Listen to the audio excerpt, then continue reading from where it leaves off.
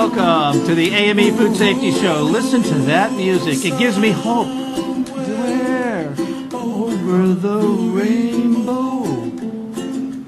Way up high. I can never remember that second part. Isn't it beautiful to think that somewhere over the rainbow there's a beautiful world waiting for us? Here's a challenge. You have to make it beautiful because a lot of people out there are trying to do it cheaper, faster, and better, in their opinions, and make more money. Let's start with our first presentation. Fruit ripening chemicals.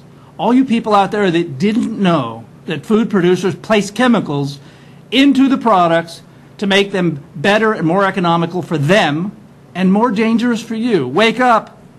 If I could tap you on the head, I would right now. One, two, three, fruit ripening chemicals. First slide. Let's look at that first example out of India.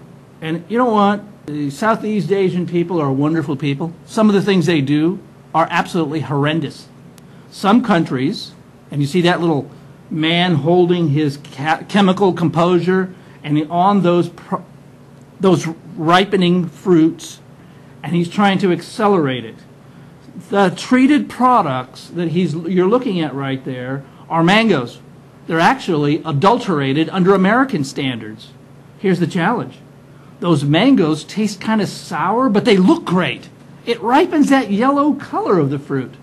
They ripen, parentheses, with a, cal- a chemical called carbon, uh, calcium carbide. That's against the law in the United States, but we still use it. You see that hand in the middle? Would you like that person touching your food prior to you getting it? Well, I guarantee you, many of those types of hands, and look at those fingernails, aren't they wonderful? Are touching the fruit that you're eating if, if you don't really know where it's from and you don't really take care of yourself. The whole axiom of the AME Food Safety Show is that you wake up yourself. You monitor your own consumption. Look at those bananas. Don't they look great? There's a reason they look great. There is a cadre of managers scheming and scamming and planning to make that product look good so you'll buy it, even if it's good for you or not. The sellers of some of these intermediary handlers of food will take cheap, immature bananas from damaged trees and place them in a box together with some carbide blocks. They'll ripen in about 24 hours, or else they'll spray it. They'll dip the products in calcium carbide mixed with water. All of those are scams. All of those are evil. All of those are against what your best interests are. I hope you understand after this short segment that there are middlemen out there who are responsible and yet they're unidentifiable. Yes, they're scraping a meager living. Next slide. Oh, Andy, what do you know? I'm not eating that from India. I'm not eating that from Mexico. I'm not eating that from Guatemala or Honduras or Nicaragua. I got some news for you people. You are. Americans are eating their garbage. And they why? Because they want American dollars. Look at the chart on the left, briefly. It's from the USDA and the Foreign Agricultural Trade of the United States group out of the USDA. And what is it saying? It's saying that food of a variety are being sent to the United States in exponential growth. Exponential means 2, 4, 6, 8, not arithmetic, which is 1, 2, 3, 4. Look at that giant container vessel on the right. That's very characteristic of how the food arrives. Can the government, who's supposed to be protecting you, search every single container of every single container ship of every single country that comes in here? And that's a yes or a no. And let's look at the facts before I have you answer that. And all you wonderful liberals that just want the world to be wonderful, don't look over the rainbow. Look at that container ship. These unsaturated hydrocarbons, particularly acetylene, ethylene, etc., they promote ripening, induce color changes very effectively. Next slide. Andy, we pay taxes, billions of dollars and billions for these government inspectors to protect us. And they're good people. They're just waiting for their retirement. They show up every day. Oh, they love us. Really. Let me look at that argument real quick.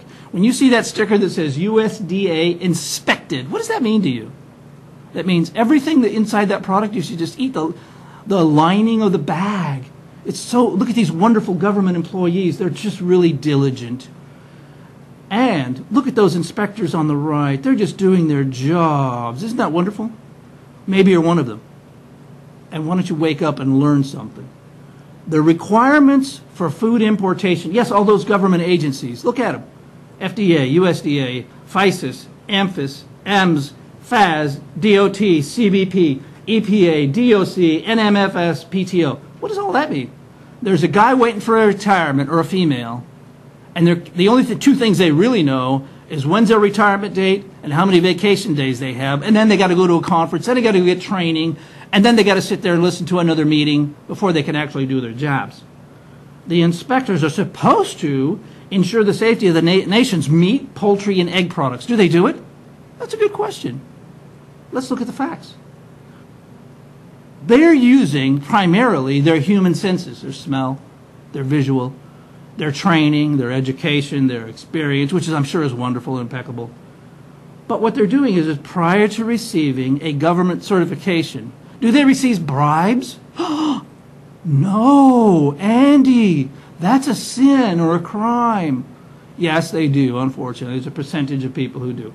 Let's look at what the actual numbers are for their actual work performed, considering the work volume. 1.3% of all imported fish, vegetables, fruit, and other foods are inspected. There are very few rejections as compared to the volume that's coming into the United States. So if I was to tell you that 99% plus or minus of the products that you're eating from imported countries are not inspected, that means a person, a human, authorized to reject it is looking at it, would you eat it? That's all. Just a statistical fact. You do the math. 8, 1.8% in 2003. In 2007, 1.3, 1.1 in 2008. What does that tell you? The numbers of, of food items inspected is going down. Why? Because their budget's getting cut. And because we have more participants coming in to the United States looking for the almighty dollar. Over. Next slide. All right. Don't forget there's a distinction between government inspection, somebody looking at it, and testing, government testing. That's going beyond the human sensory capacities and looking at it, scientific instrumentation and scientific protocols to prove, to come up with data, irrespective of the protocol, that the product is either contaminated or not. What does that mean? Oh, Andy, but these people are so experienced. They look at it, they just know. I'll tell you what happened to me. I was offering the U.S. federal government, USDA, at LAX airport scientific detection using that instrument that that lady on the right is using. And you know what they told me? They had little Asian people bent over smelling agricultural products coming in. And he said, Andy, we can't afford it. We pay these people from Southeast Asia $10 an hour, and that's all we can afford. We can't afford scientific instruments. That's what I was told. That's my experience. You can countermand that with your experience. But sensory human inspection versus scientific instrumentation methods don't correlate. Just because something smells horrible, what will happen is quite often the violators will change the chemistry so it doesn't smell. It's not aromatic. The percentage of samples tested is even worse than the visual inspection. Does that frighten you? It should frighten you. And it's not risk based. What does that mean? I take the most high risk products coming in and I give more vigilance to those. So those that aren't as high risk based, I give less. That's the nature of budgeting. Next slide.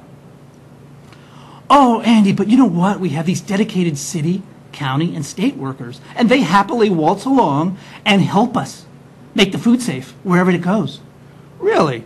That's what you think? Look at the person on the left. He's got a temperature gauge. Oh, that's helpful. Look at the person in the middle. He's got a checklist and he's visually inspecting, primarily for temperature, looking for bugs. At restaurants, look at that person. She's using a temperature gauge. They use the simplest, easiest equipment in those agencies, unless the federal government funds to buy the equipment, give them the training, and give them the assays or the test equipment and test chemistries to run. But foodborne outbreaks are mainly what they're interested in. If a thousand people get sick, oh, okay, I guess I'll get out of my cubicle, miss my meeting, shorten my vacation days to go and check it out. I'll just count the number of dead people. Wonderful. They'll collect samples and then they'll send it to a federal state lab. Or if they're lucky, like here in Fresno County, I actually sold them one of our units, but I had to come frequently to, to see if they were qualified to use it. Many of them have minimal training, so guess what? I question a lot of their results, but they are in support of federal help. If you are a true American, looking at the federal government for help is a challenge for me as an American. Next slide.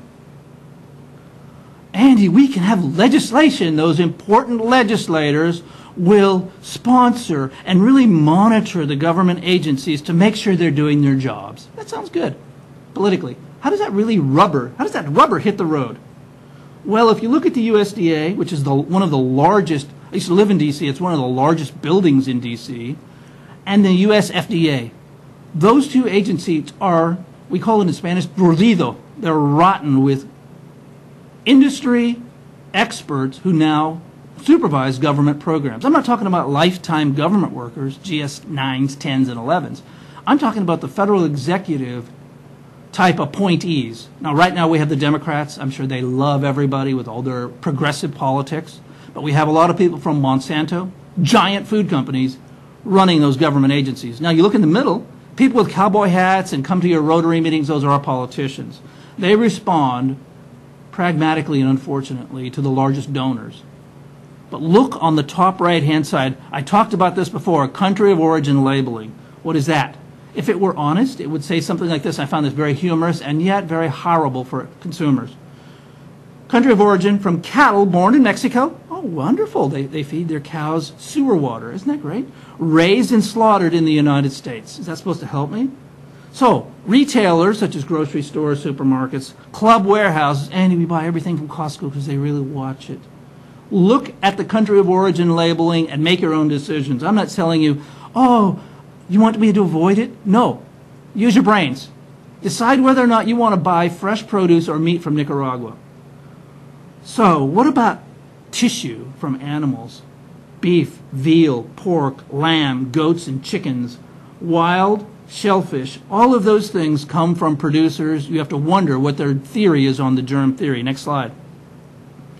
Consumer Watch, I'm almost done. Look at all those products on the far left. Look at all of the listings there. Look at that room in the middle. What is that? It's a ripening room. What does a ripening room mean? That they put a gas in there and it has ethylene that helps it ripen and make it look really good so you'll pick it off the shelf and take it home and think, oh, this is going to be great. My children will be safe and happy. The bottom line is that there are commercial products which will help you extend the life of that product and help you ripen it in a more humane way, a safer way. Next slide. These are my suggestions, people. Research all food outbreaks before you run off all happy and progressive off to the grocery store or a farmer's market. Buy products from established organizations. Why? And remember where you buy things because you might have to sue them if your kid dies or needs a kidney transplant. Store the products in appropriate locations. We're prim primarily interested in temperature. And wash, clean, inspect all food products, especially produce and fruit. Here's my last plea to you as me, a voice on a computer to you as somebody who's actually eating. Wake up, think about the food you're eating. Thank you very much.